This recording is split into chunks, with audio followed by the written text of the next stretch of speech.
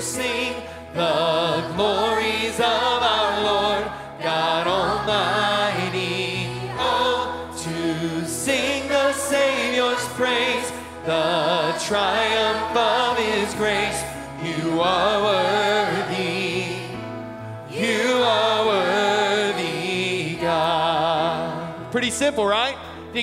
Sing it with us. Sing it out real loud. That first note, that O is fun. So sing it good and loud. Here we go. Oh, for a thousand tongues to sing. Sing it with us. Oh, for a thousand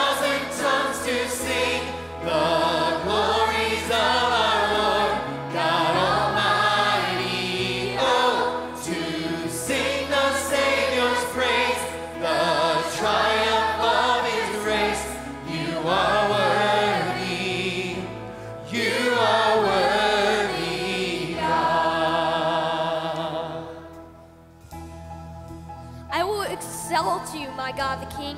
I will praise your name forever and ever. Every day I will praise you and extol your name forever and ever. Great is the Lord and most worthy of praise. His greatness no one can fathom. One generation commends your works to another. They tell of your mighty acts. Goes like this. We are a sea of voices. We are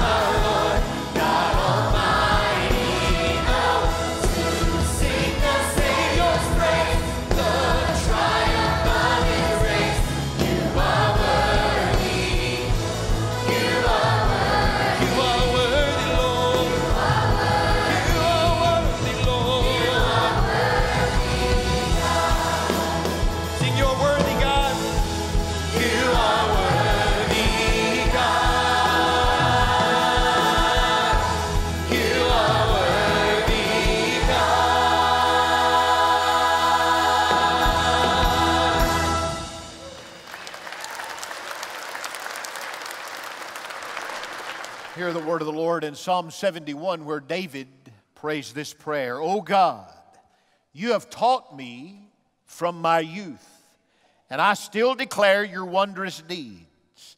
And even when I am old and gray, O God, do not forsake me until I declare your strength to this generation and your power to all who are to come. David is old. He's before kindergarten. He says, God, you've taught me since I was just a youth. Don't leave me now until I can tell the generation alive today and the one coming behind them two things your strength and your power. Grandparents, you ought to be teaching your children about God's strength and power. If you have grandchildren, teach them about God's strength and power. If you have people around you that are younger, teach them about God's strength and power.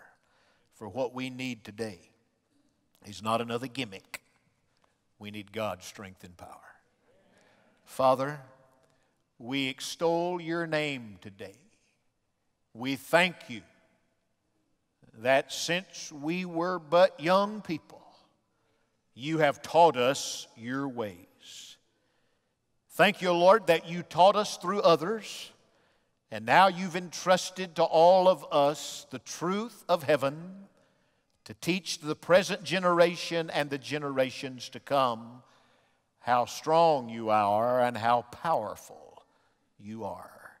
We cast our care over on you today, and we pray, oh Lord, do a good work among us today. And we give you praise. In Jesus' name, amen. If this is your first time to be at Olive, we are delighted you are here. We are happy that you are our guest today. And if you would do us the joy of taking a guest registration card right in front of you, you'll find it. Pull it out, fill it out on both sides, put it in an offering plate when it comes by, or hand it to someone as you leave the service. That would very well help us, and we would love to get to know you better. So thank you for coming and being here. And if this is the second or third time you've come, we are welcoming you as well. And thank you all for coming on. Uh, what time is it? John just got back from England. He doesn't know what time it is anyway. Sean just got back from India, and he sure doesn't know what time it is. I just got back from Tennessee, and I was on fast time, slow time, you know, and so I'm not sure what. I know this it's the day the Lord is made. And today is his day, and now is the accepted time. This is his day. So let's lift our voices and give him praise.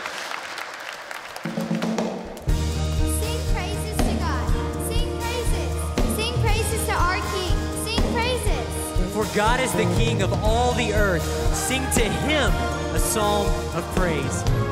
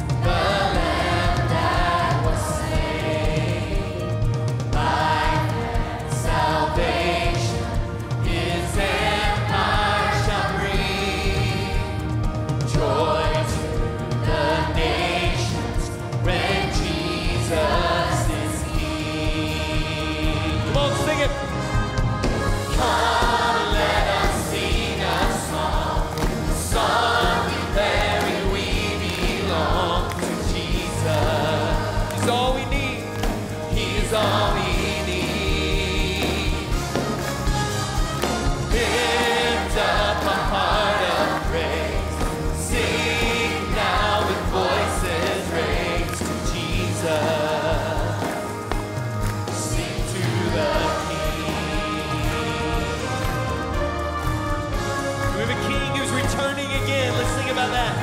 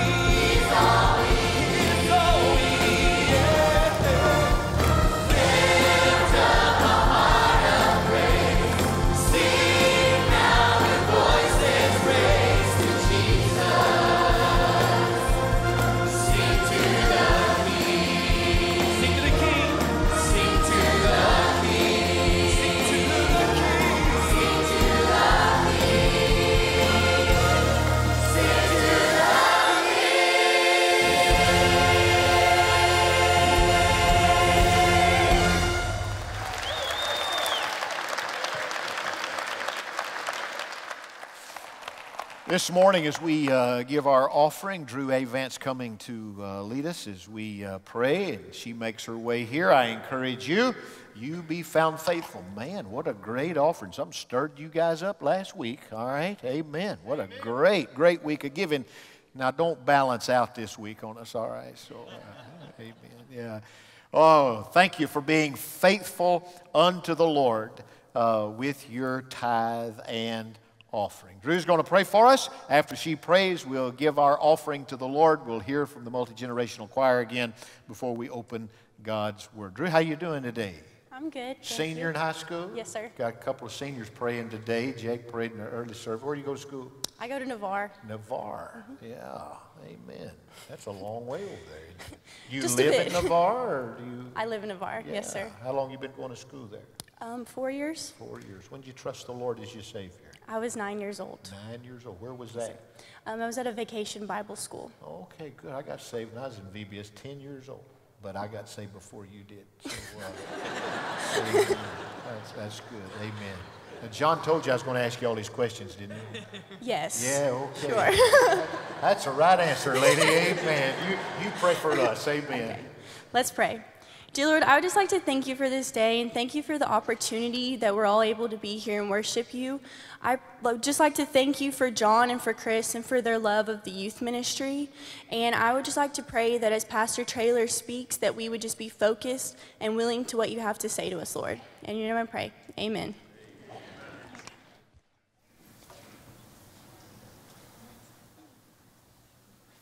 I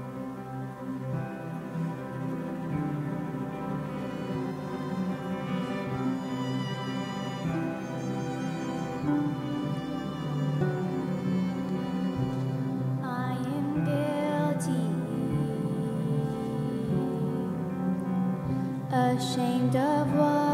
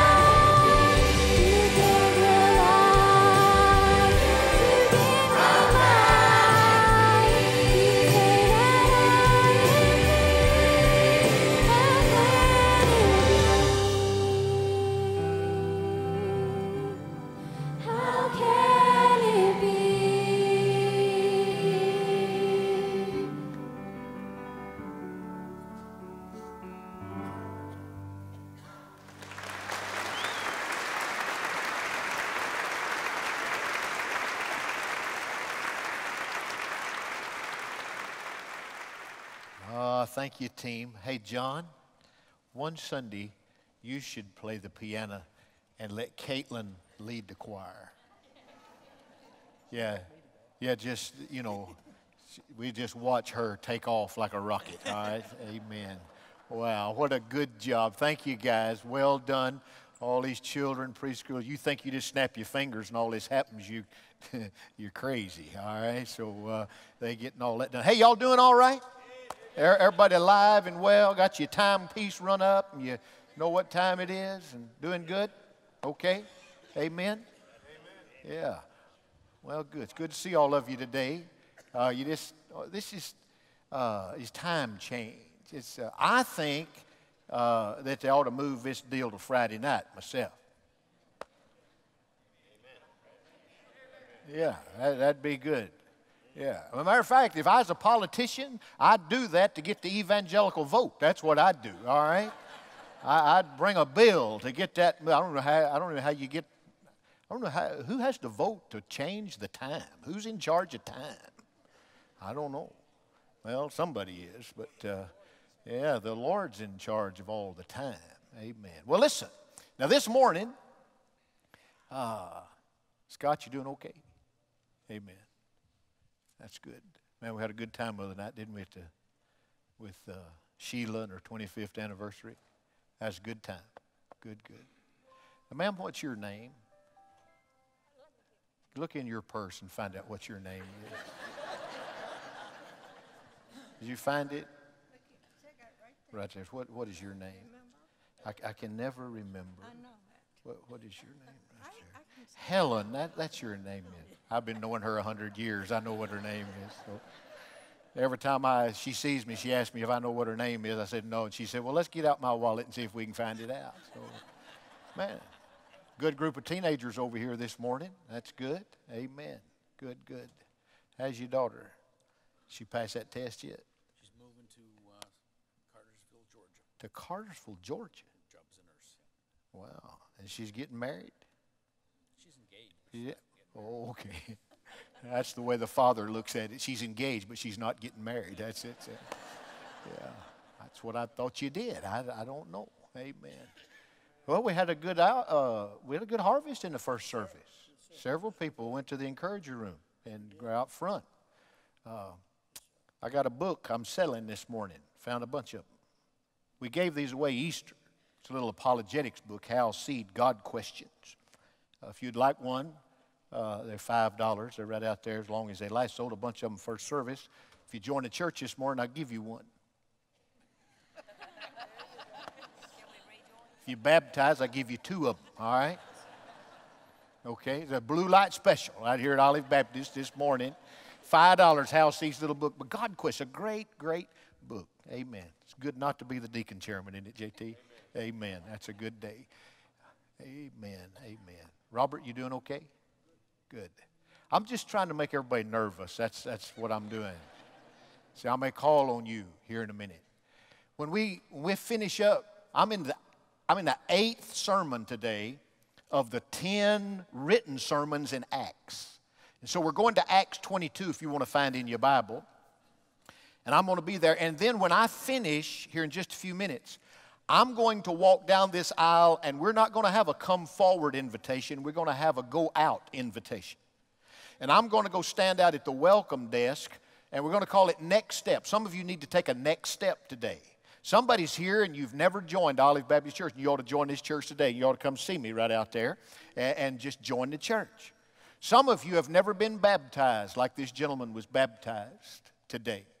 And you ought to come and make your next steps and get ready to say, okay, I want to sign up and, and, and be a part. And then there are many people in this room today. You don't know if you were to die today, you'd go to heaven. You're not sure you're saved, a Christian, that you're heaven ready. You need to walk out there and tell me, and Pastor, I need to talk to somebody about having a testimony today, because testimony is what we're talking about. Somebody testify. And we're going to find that uh, Paul is going to give his testimony to us this morning. And I got two questions to ask you. Number one, do you have a testimony?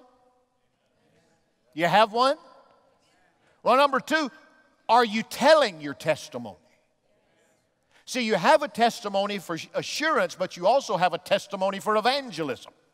So, number one, do you have one? If you don't, we're going to help you do that today. And secondly, if you have one, are you telling it to anybody?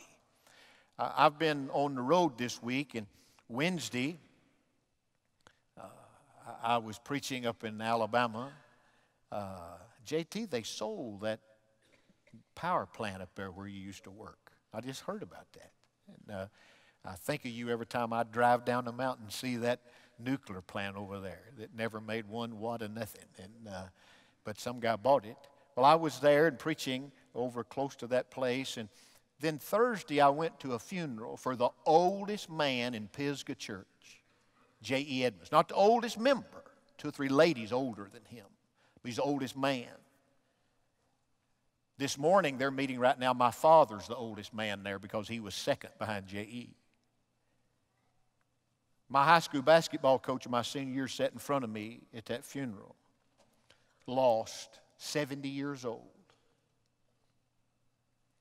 We walked out in the yard after the service is over and we were talking. And he was asking me how I was, and I told him I was doing pretty good. And I said, You know, Wallace, one of these days we're going to have an event like this for you.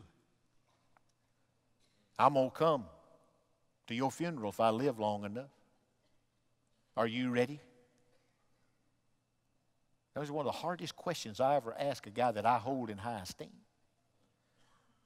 But my job is to try to get the Word of God out, to share a testimony. Well, that's what Paul does in, in this 22nd chapter. That's an interesting passage. When you're in the 21st chapter, Paul comes to Jerusalem and he meets the compromising church. They want to play it safe. You, know what's killing more Baptist churches is safety than anything else in the world. Just stay right in the middle of the road, don't bother anybody. Just easy pleasy, nice and easy. Too late for that, beloved. And so Paul lands in Jerusalem, and the compromising church says, We've got some guys that are going through purification, and you ought to do that because they wanted to be kind of half Jew and half Christian and mold those things together. And uh, Paul uh, talked with them, and they went through seven days of purification. And after the seven days, he went down to the synagogue. And you find him sharing in the synagogue. And, and when they found him in the synagogue, they, they said, Hey, it's him! Uh, that's the guy. He says Judaism is not true. And a riot broke out. They pounced on him. The Bible says they drug him outside the synagogue and shut the door. It says in chapter 21, they shut the door of the synagogue and they took him out and they were trying to beat him to death. And the roar was so loud, the centurions and the soldiers of the Roman cohort came and they got Paul from them. And, and the leader looked at him. He said, Are you that Egyptian? He said, What are you talking about? The Egyptian. That, no, no, it was just a misidentification. And they grabbed him and he said, Get that man out of here and take him to safety.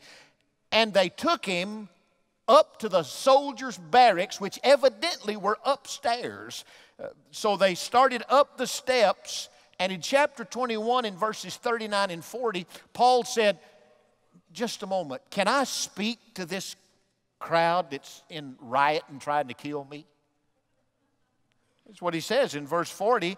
Uh, when they had given him permission, Paul, verse 40, standing on the stairs, mm-hmm, motioned to the people with his hand, and when there was a great hush.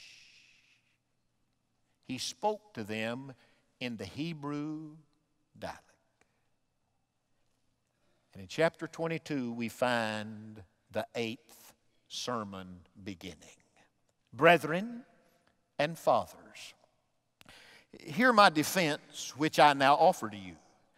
When they heard that he was addressing them in the Hebrew dialect, they became even more quiet, and he said, I am a Jew born of Tarsus of Cilicia, but brought up in this city, Jerusalem, educated under Gamaliel, strictly according to the law of our fathers, being zealous for God, just as you all are today. I persecuted this way, the ways, the Christians, that's what they were called.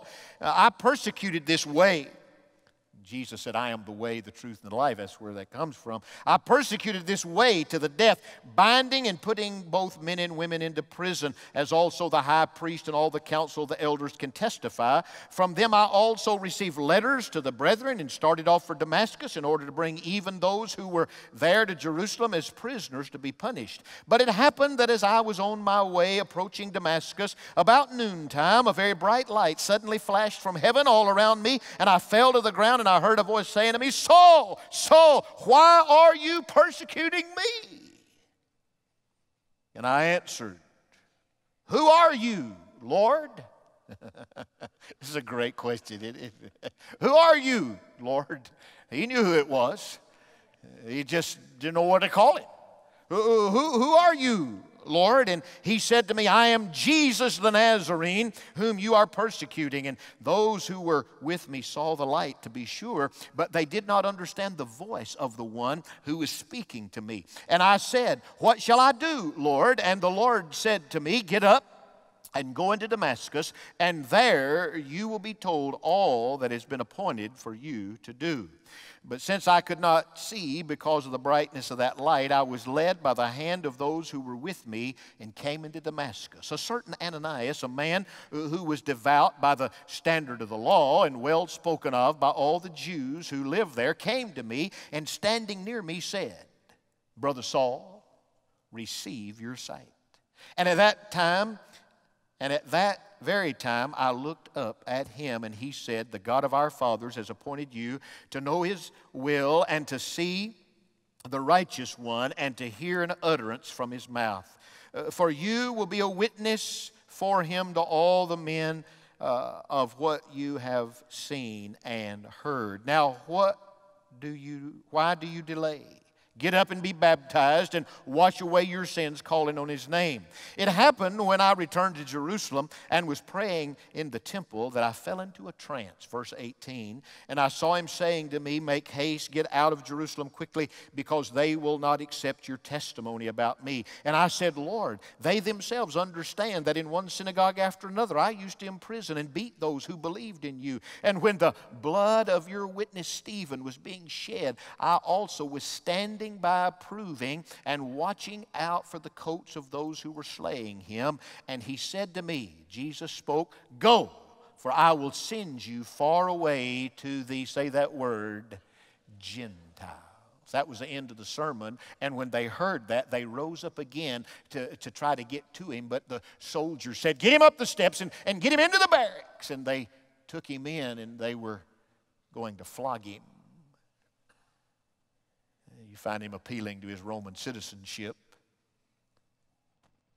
Paul standing on the steps, people listening, and they heard every word until he said, I'm going to the Gentiles. And when he said, I'm going to the Gentiles, there was a roar again. They could not stand for God to do a work with a non Jewish group. Paul stood and gave his testimony. That's what he's doing here. My question to you is twofold today. Do you have a testimony? Secondly, are you telling your testimony? So I want to just give you three simple nails to put in the wall to help you to tell your testimony today. So let's look at these very quickly. We learn from Paul, and then when I finish, I'm going to walk right out that aisle. And if you don't have a testimony, I want you to come out there and get one. If you have a testimony but you've never been baptized, I want you to come out there and get ready to. If you have a testimony, you've been baptized, you want to put your membership in Olive, I want you to walk right out there with me, and, and I want you at the next steps desk to say, This is the day I'm ready to put my life in Olive Church. You're here here today and you're away from God, you just need somebody to pray with you, I want you to come out there. We're going to help you take your next steps toward the Lord. But let's get our testimony nailed down uh, this morning. So let's three, see these three things in Paul's life. Number one, Paul spoke to his friends standing on these steps. He's walking up. You can see the picture. And, and Paul's there and they've got him bound and the soldiers are around him and the Jews are everywhere and he's standing on the steps. He says, let me tell you something. He says in verses 3 and 4, I am a righteous Jew, a Jew born in Tarsus, Cilicia, brought up in the city, educated under Gamaliel, strictly according to the law of the fathers, being zealous of God just as you are today. Paul said, I was one of the most religious men in all the world. Let me tell you, friend, he was the most religious man you could find, but he was lost. You can come to Olive Church, even have your name on the roll and be lost. You can come morning, noon, and night and be lost. Paul had great religion. He's going to church, he just wasn't going to heaven because he was lost. Verse 4 says, I persecuted this way to the death, binding and putting both men and women into prison. He was a vile, vicious, hateful murderer, and he killed Christians until he met the Christ. He was a religious man that was vile and lost. Dear friend, you were made by God for God, but sin has spoiled you and now controls you if you're without Christ.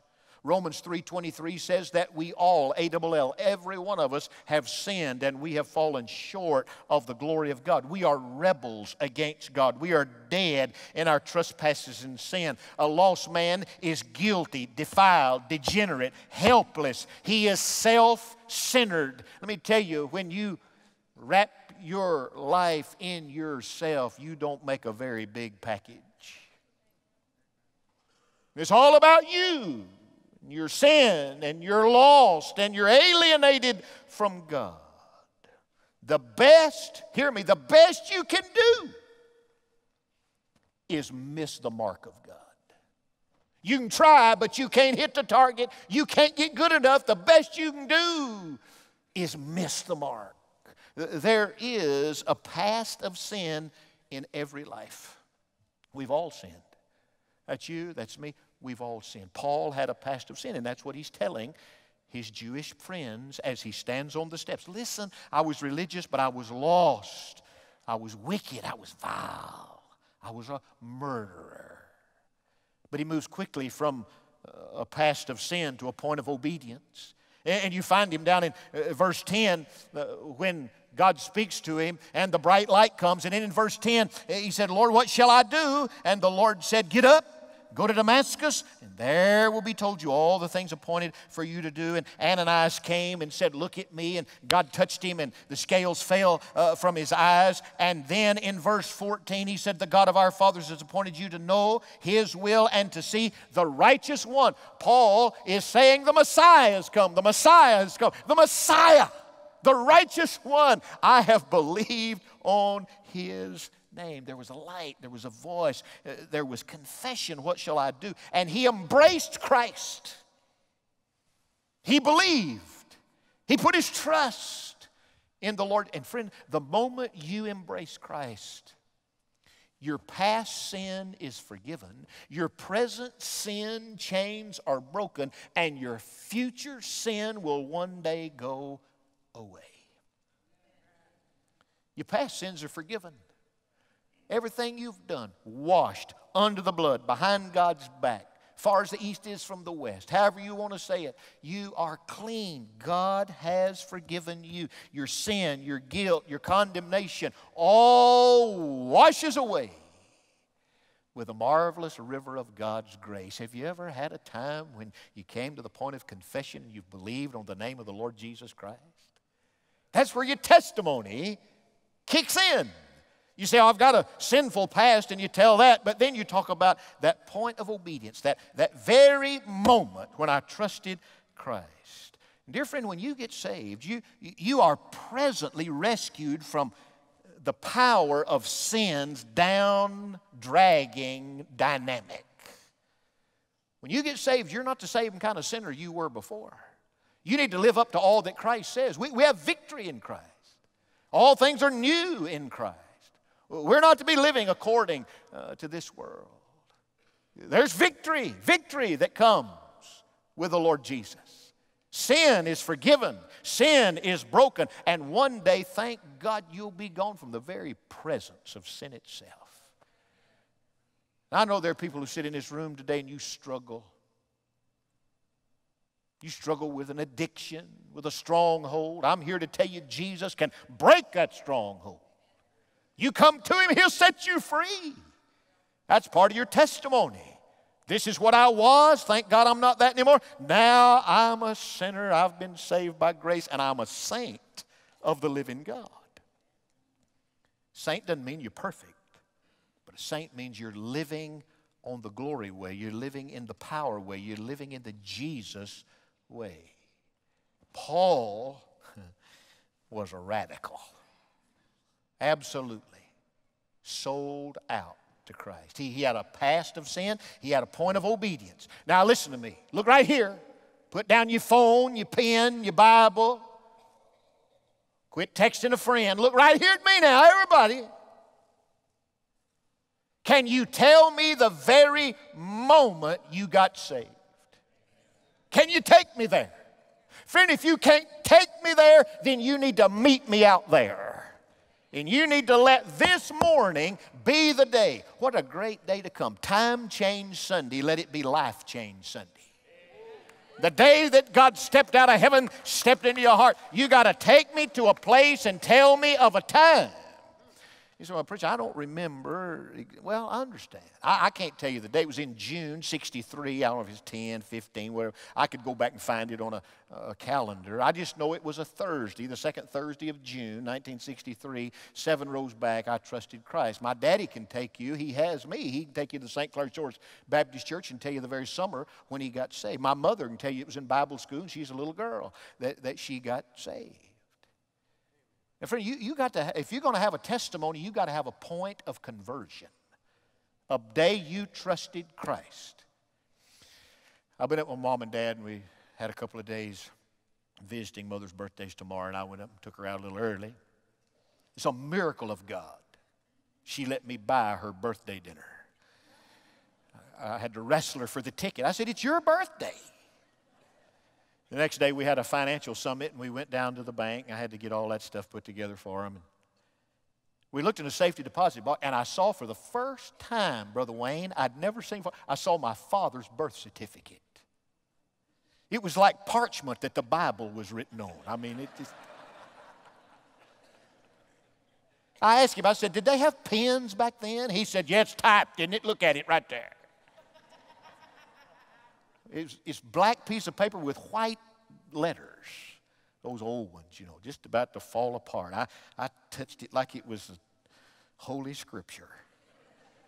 I laid that back in there. It's discharge papers from the Army. Honorable discharge. I said, Well, thank God. I thought they kicked you out. I didn't know what happened that deal. You know when you were born the first time. Friend, if you go into heaven, you got to know when you was born the second time. It's called new birth. Can you tell me? Can you tell? If you don't know, you need to know today. This is the day the Lord has made. Today's the day of salvation. Now's the accepted time. Don't wait for tomorrow. You may not make tomorrow. Last night, a 33 year old boy sitting in my nephew's apartment right down the road from here had a massive heart attack. He put him in a car and he died before he got him to the hospital. You don't know. You just don't know. You, you better nail that down. Last Sunday, we got home and and little Catherine had come to church, my granddaughter, and, and she said, Why were you yelling at us?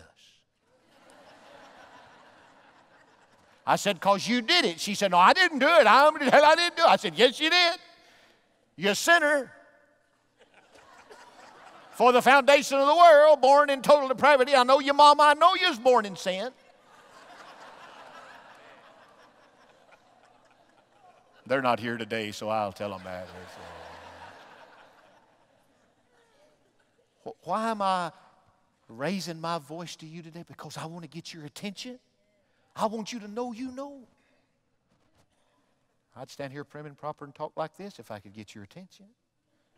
If you'll just tell me it's, I know, Pat. If you don't know, you need to have a point of obedience today.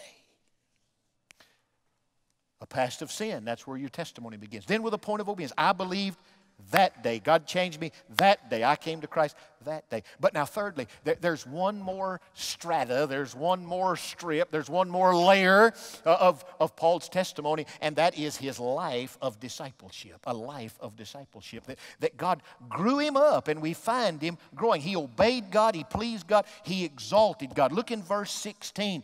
And Ananias said, Now why do you delay? Let me ask you, friend, you love God, if you're saved, why are you waiting around? Now's the time. Make a move. Do it now. Get up and be baptized. Wash away your sins, calling on His name. Do it now. Don't wait. And he did. And God began to grow him up.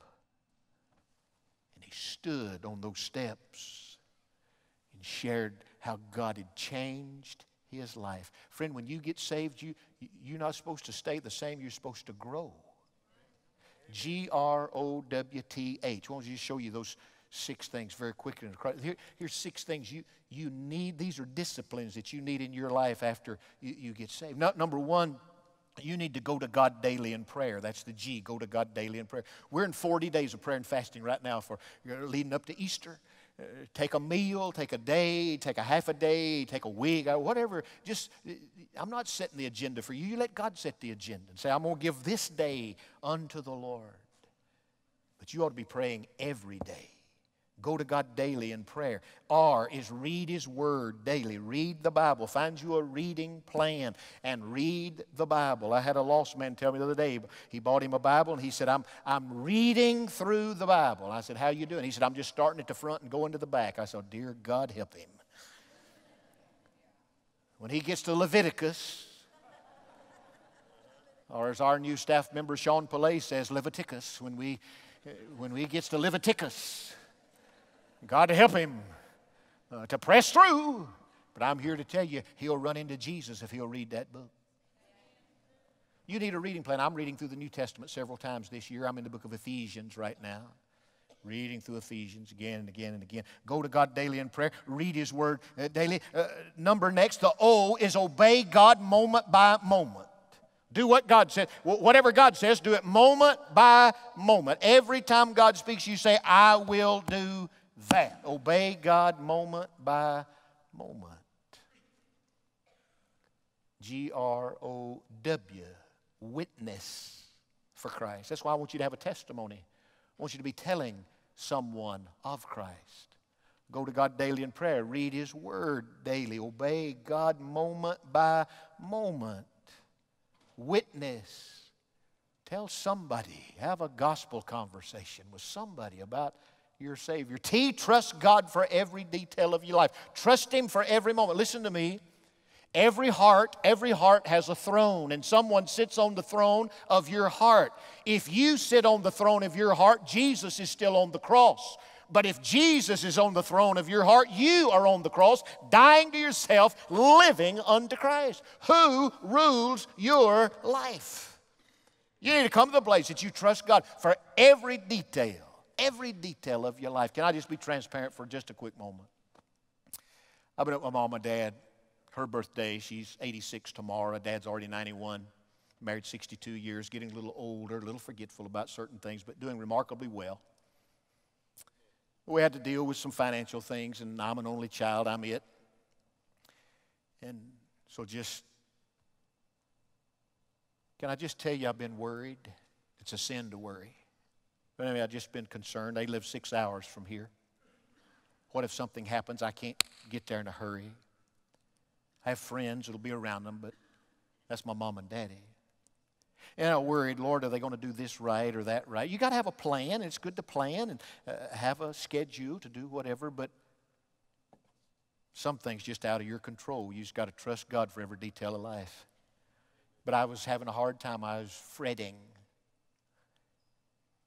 Now, don't come to me after church because some of you are going to walk up because you're all wise. And you're going to say, well, you, y'all just move them down here. Yeah, why don't you go tell that to my mama? All right? Let you tell Miss Jean where she's going to live. All right? I don't want them living down here as long as they can stay there. They got all their friends and everything. But I know that day's coming. If I outlive them, that day's. So I'm walking where around where they live on that road, and I'm just walking and worrying and walking and worrying.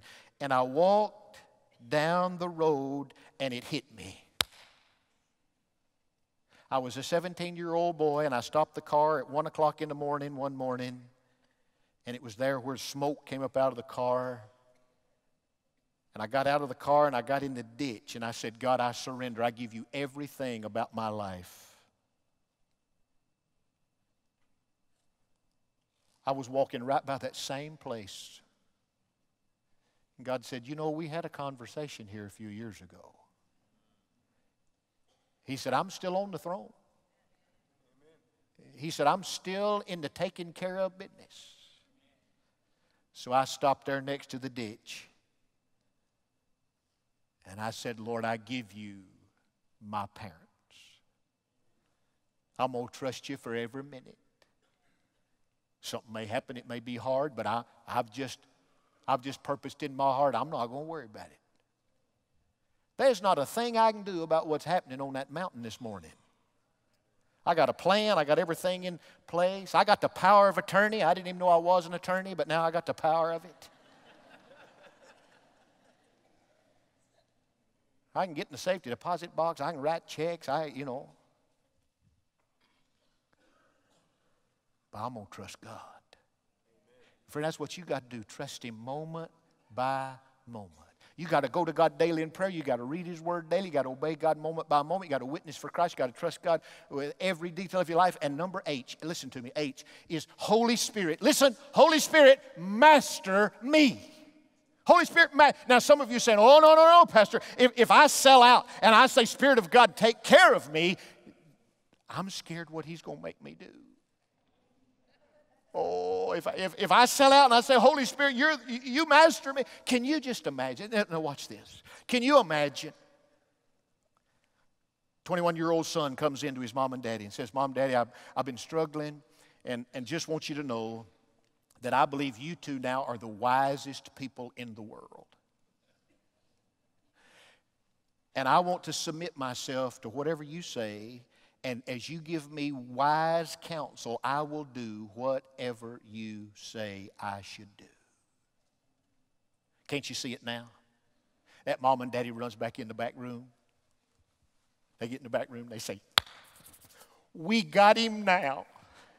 We got him. We can make him do anything we want to. We're going to wear him out. We're going to kill him.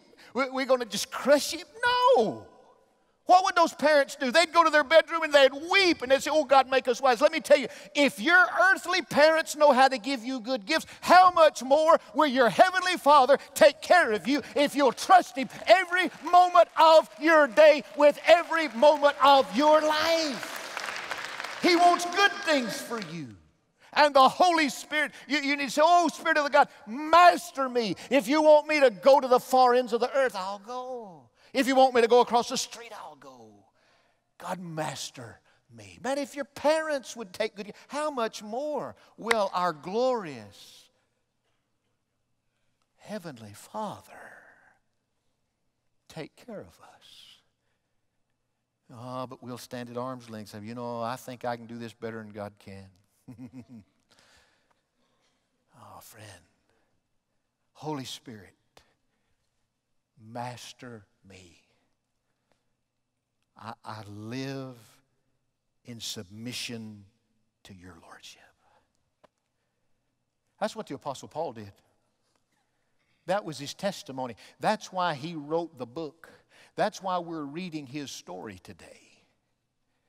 He was sold out, and, and God picked him up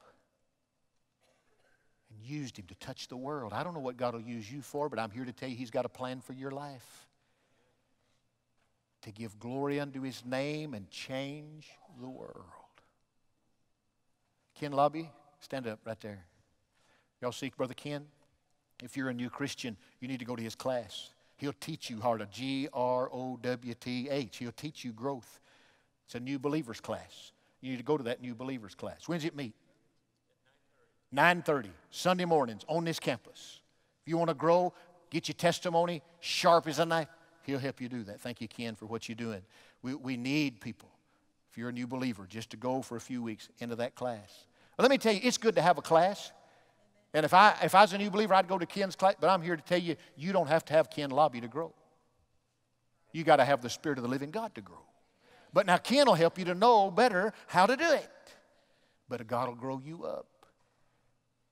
If you got a testimony, anybody here have a testimony? Are you telling your testimony? Are you telling your testimony?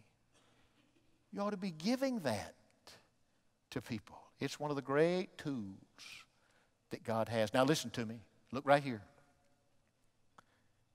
In a few minutes, I'm going to walk out here to the next steps table. If you've never been saved, I want you to come see me. If you've never joined this church and ought to, I want you to come see me. If you've never been baptized, and today's the day to uh, get prepared to do that next service uh, tonight or following. Sunday, I want you to come see me. Say, preacher, I'm, I'm ready. I'm ready to take the next steps. But now listen, for those of you that are watching today, you're watching this internet feed, or you'll later watch this televised service, or you're listening on the radio. I want you to know if you don't have a testimony today and you've never trusted Christ, as soon as you turn off that machine, I want you just to bow your head, ask the Lord to step out of heaven, step into your heart to save you. Give him your life. If you've been a long way from God, if you, you're estranged from the Father, th- then I want you to repent, come home to him, and ask him, Holy Spirit, master me. We're praying that we, he, you would do that, and he will change your life. Will he do it, church? Amen? Amen? Yes, sir. He'll do it for us. He'll do it for you. And thank you for tuning our way right here to a place called Olive.